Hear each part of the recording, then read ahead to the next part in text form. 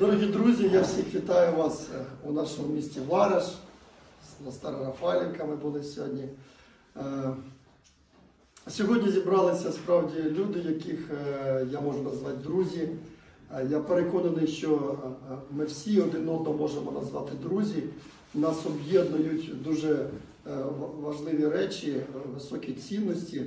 Ми в більшості своїм є священниками, є громадські діячі, волонтери. Сьогодні завітали до нас е, у Вараш, центру місті Вараш. е, Відомі е, для нас е, дуже цінні е, спеціалісти у сфері е, психології. Це такий складний час, коли е, ми переживаємо війну, е, коли багато людей страждають від війни е, в більшій чи меншій мірі.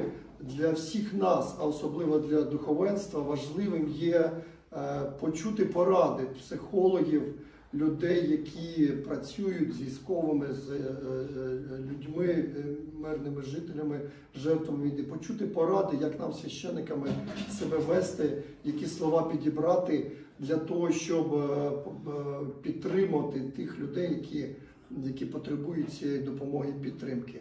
Е, Я хочу зазначити, що сьогодні на нашому заході, семінарі, який присвячений е, е, психологічної реабілітації жертв війни, є представники з, усіх регіонів України. Це священники Української православної церкви, Православної церкви України, Миколаївщина, Харківщина, Чернівеччина, Хмельниччина, Волинь. Острощина, це Рівненщина, Сарненщина, е, деко назвав Київщина.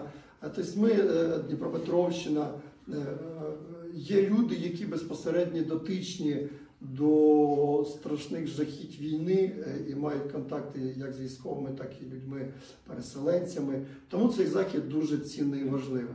Окрім того, в- назві теми нашого зібрання зазначено роль е, релігійних і громадських організацій в цій діяльності. Е, Щодо релігійних організацій, більшість з нас ми і так займаємося певним видом діяльності. Хоча хочемо зазначити, це моє таке бачення, можливо, воно е, в когось інше, що формат релігійних організацій в сучасному е, е, стані не завжди дозволяє ефективно ефективно діяти і, швидко реагувати на потреби суспільства, людей е, в, нинішньому часі. Тому, е, тому е, важливим постає формат і інших форм діяльності, таких як формат громадських організацій. І багато хто із тут присутніх очолюють різного роду громадські організації, благодійні фонди. І також сьогодні в другій частині нашої зустрічі поділяться е, особливостями роботи у форматі громадських організацій і благодійних організацій. Тому наша така сьогоднішня зустріч має бути насиченою, думаю, цікавою, е, корисною.